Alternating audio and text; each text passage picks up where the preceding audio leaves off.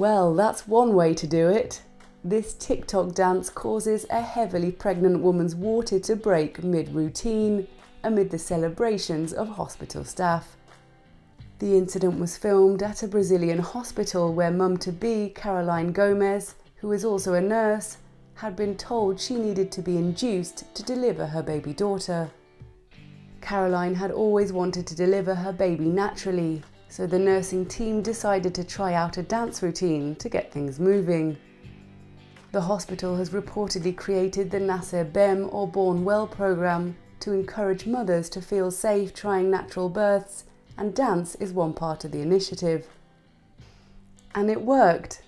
Caroline was able to naturally deliver a healthy baby girl, who she says already shakes her legs at just 10 days old as if she were dancing.